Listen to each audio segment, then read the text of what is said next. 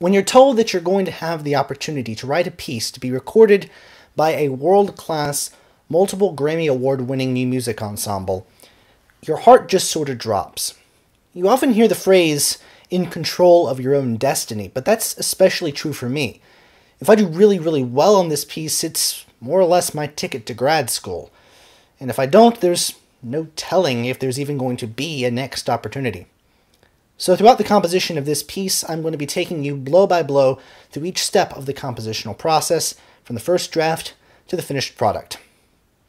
Terrifying. I'm the classical nerd, and I'm writing a piece for Eighth Blackbird.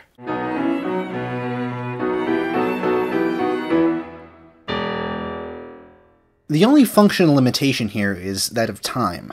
Due to the nature of the recording session, the piece's maximum duration is going to be about 7 minutes. From a performance standpoint, the Blackbird is comprised of some of the most phenomenal musicians in the whole world, and they work together as one cohesive group, which is really something special. This means I can write things I just can't write for student performers, which is what, as a student, I usually have. Not a knock on student performers, regardless of where they come from, because some of them are absolutely top notch. They just don't have the capabilities that a group of literal world class touring professionals have. Um, it's been on a number of occasions that I've written what I wanted to hear in a particular piece, and it ends up not being performable, or you know, various things happen and it, and it precludes performance. It leads me to have this sort of disparate body of work, which I either have pieces that are tougher and and so you know don't get performed or don't get performed nearly as much as I would want, or they're a bit easier and I end up having to sacrifice something. But when when you're thrown into the position where you can have literally anything on the table with you know within reason within the within the limits of the instrumentation and within the limits of time. If you can create anything you know what what do you create? So you, you have to sort of impose on yourself some kind of limitation in order to actually start the piece. So the compositional process i've decided on is an arch structure. So over the course of the piece the beginning is going to have a counterpart at the end and you know, vice versa. Um, it's important to me that each counterpart be different and not just sort of a flat repetition. Uh, the derivation should be subliminal, so the piece is still going to work, but it's it should be harder for the for the listener to actually grasp precisely why. So what I'm doing here is actually writing the piece backwards as much as I am forwards. So I want there to be a link between sections on these sort of opposing poles. For instance, I have this initial motive, major third fall, minor third rise, this comes back at the very end, different rhythmic profile and different orchestration, but it's still there. This cello glissando is mirrored in this violin glissando, and the sound of the wind machine is mirrored on each side as well.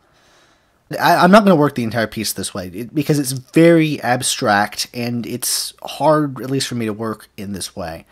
Um, at the very least, it frames each side, and there will be some sense of symmetry, some sense of opening and some sense of closing. Uh, and that's really, I think, uh, what I want out of, you know, at least sort of the context of the rest of the piece. Even if this ends up being just the intro and the outro, uh, and the main pieces in the middle. Yeah, so within these sections that mirror one another, there's there's some kind of link. It's either timbre, melodic gesture, you know, what have you. Roughly speaking, they're equidistant from their uh, respective ends of the piece. Um, but I, I don't really want to have the piece heard in retrograde because what makes sense forward doesn't make sense backward, especially rhythmically. Now, pitches you can get away with a little bit more. Uh, I would argue maybe not as much as some composers think they can, but um, but definitely in, in terms of in terms of rhythm, that's that's one of the main things that I'm really trying to push myself with this piece. My music does tend to be intensely rhythmic, or at least sort of rhythmically oriented. So I'm taking a conscious decision to step back from that I tried that first in a, a little bit in a, in a wind ensemble piece I wrote over last summer called Aubade for the Midnight Sun, but that was not nearly to the same extent as this. I just used I just used sort of a non-metrical technique in, in certain sections. A lot of things occur on downbeats. You know, within the context of the meter, you can have you can have lyrical lines that actually manage to do that. Um, but I want what I wanted to do was offset things and make sure that the things that actually landed on beats or the things that actually then landed on downbeats made sense. Uh, I wanted them to be, you know, important notes within the context of the line. And uh, if you do that well, I think it really sounds interesting and it gives a nice sort of ethereal floating quality to it, uh, and combined with you know pushing myself to create longer and longer and longer lines, um, which is one of my goals in this piece. I really haven't done that quite so much yet. Um, I think it's going to be an interesting sound. You know, whether or not I like it, whether or not I, you know, that becomes part of my compositional language, I don't know. Um, so what, what exactly do I mean by, by this? So visually, if we take a look at the Aubade, you can see that the notes are occurring sort of on every quarter if you just mark the quarters. Um, except for the opening, which has this sort of out of time trumpet line. Um, actually has some of this, some of the same third motion you see in this this little piece. But even if you're not trying to stick to rhythm, rhythmic profile of individual lines is very important, and I would argue that this is even more important when you're writing something that's not particularly metrically oriented which is really oxymoronic. But if you don't have an underlying metric structure that you can hear that the music sort of snaps to, if the music is not snapping to a grid of meter, then you have to have lines that provide their own sense of meter, which, well, maybe meter is not the right word, but rather they're sort of their sense of rhythm.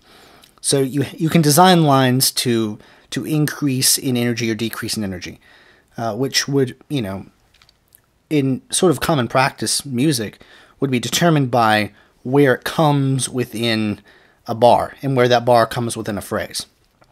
Uh, but you can do this just with the, with the notes themselves, and then you can place them pretty much anywhere, and they work. You know, doubly so if they actually follow through with uh, being a part of the underlying metric scheme. So if it does snap to this grid, and it is like this, it's it's doubly uh, energetic.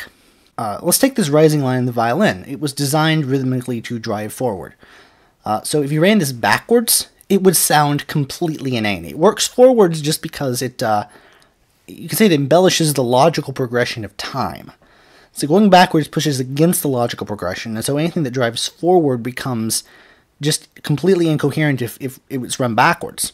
Uh, if the music is more static or exhibits a more strict adherence to sort of a given rhythmic profile, uh, you can really easily run that backwards, and it's not going to sound the same, but it's going to be more logical and it's going to be a little more coherent. It's it's very strange, but you know I don't I'm not a huge fan of, of retrograde for this reason because I feel like it's very limiting. Because if you want the retrograde to sound good, you you're incredibly hampered with what you can do with the original. Viewers of the channel might remember a presentation that I gave a few weeks ago on musical narrative and my techniques for crafting these kinds of narratives.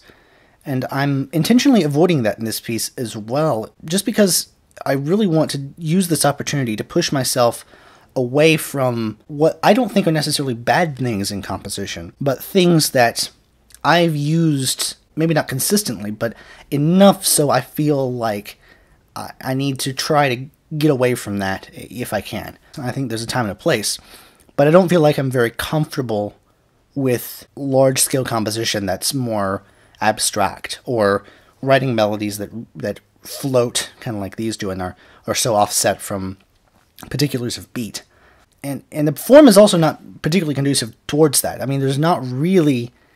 I'm trying to think if there's any uh, any stories that from popular culture or sort of popularly known mythologies that end like they began. And you know, all I can think of is is the is the theory of the big crunch where you know cosmologists there's different there's different debates in, in this particular branch of cosmology.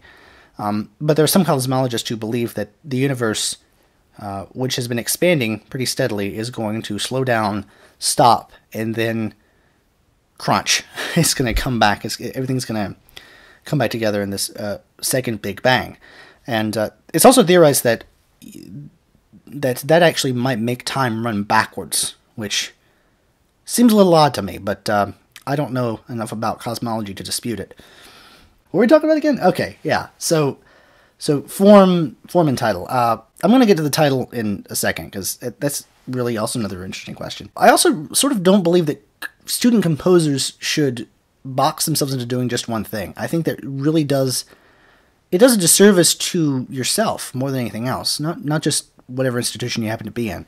I think it's a disservice to you as a composer if you don't try to push yourself because there's no other context where you can really push yourself and, and do a lot of stuff that you wouldn't not, you wouldn't otherwise do like I mean, I'm not likely going to write film scores professionally, but I've done several and I've really enjoyed my time doing them because, I mean, otherwise there'd be no room for the experience, you know, and I'm grateful to be at an institution that actually has a film school where I can actually work on these and, and there's, um, and, and there's really a lot of reward in doing so, even though I don't really feel like that's a particular calling of mine. Part of me wants to stick to what I know how to do well, but you know, I'd be really remiss, and I'd really, I think, uh, wonder what if I, if I didn't, if I didn't push myself. You know, I can always fall back on the things that I know I can do well, but this is a real step in a, in a new direction for me.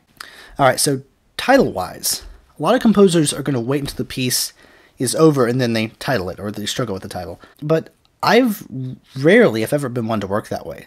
You know, really since I started composing in earnest. So really around 2014, 2015. Um, my earliest compositions, I was always really sort of struggling with titles.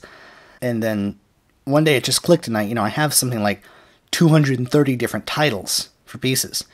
And I like using these because, you know, I really like text. I, I like to use text as a fundamental compositional building block.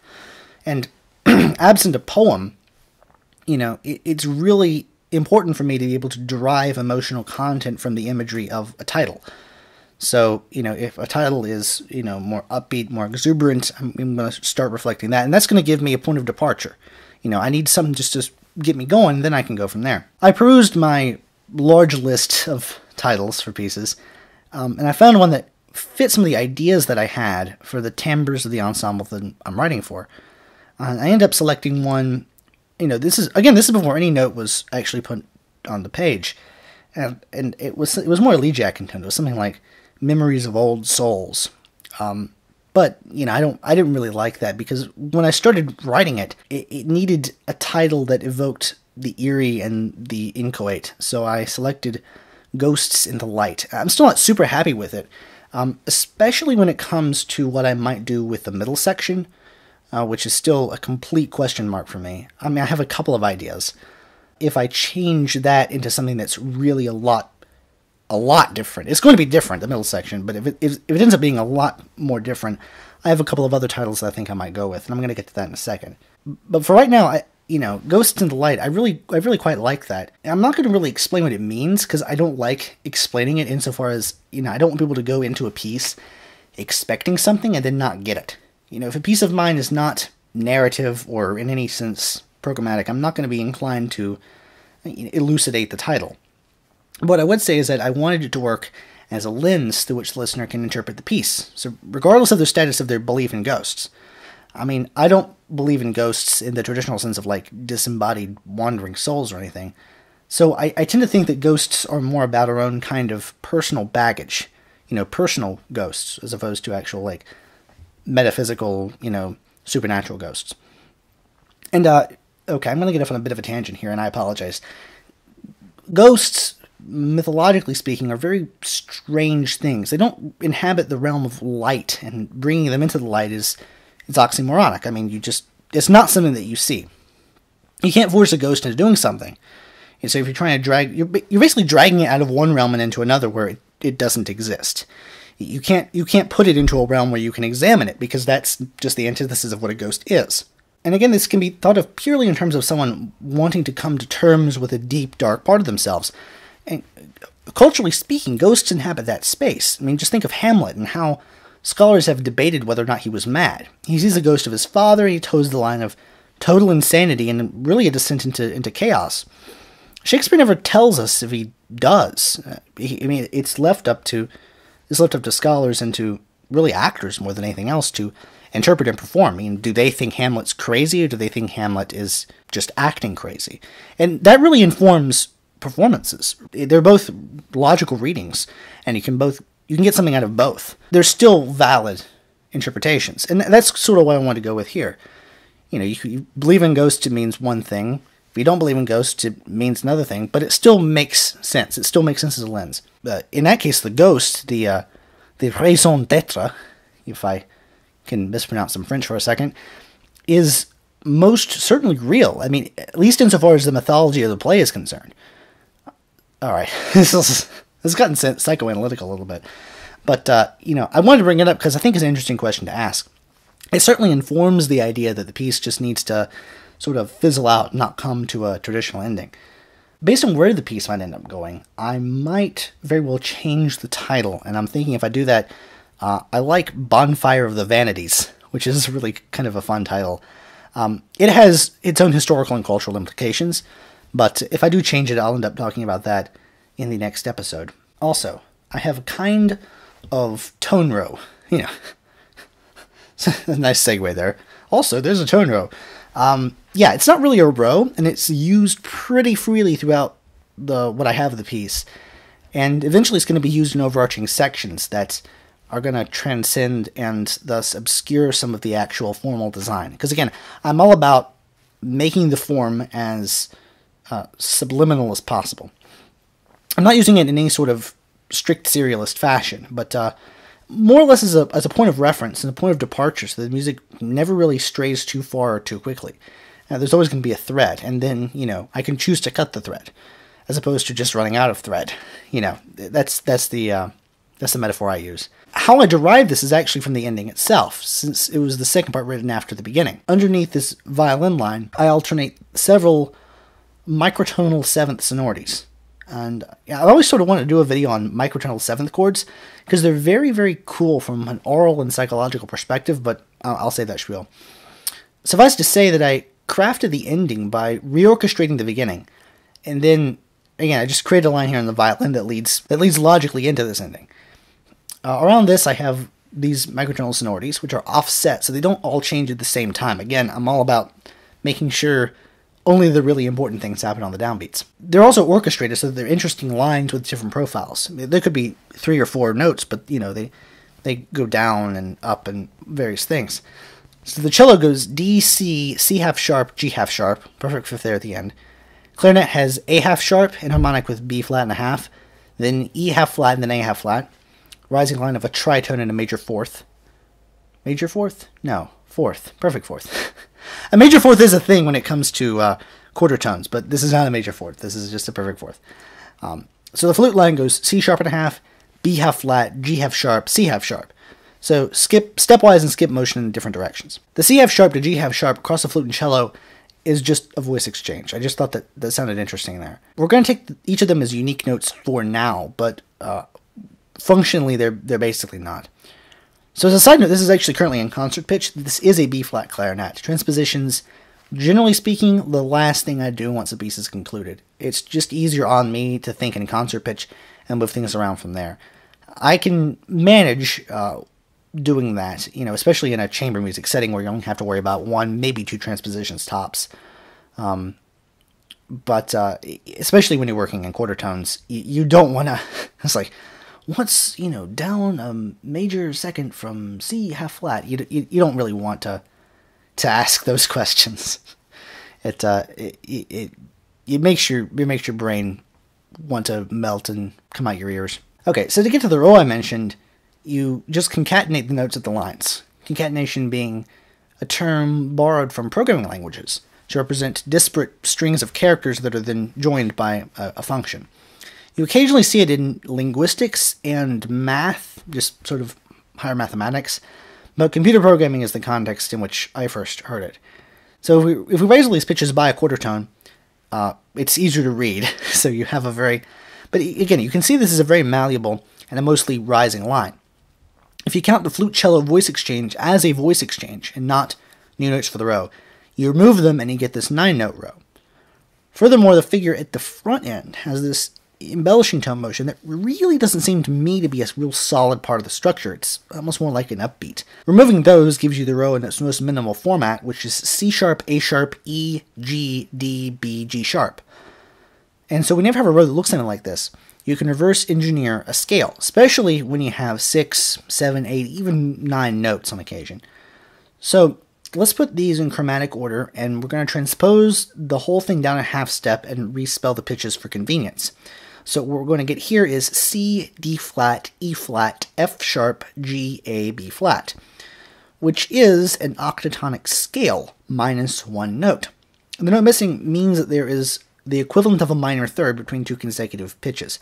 In a scale, it's usually an augmented second. We see here this is the E flat to F sharp. Eh, this is generally avoided in melodies from the common practice period, primarily because it was spelled like a second, but it sounded like a third. It just sounded disjunct and awkward if you were doing scale like passages.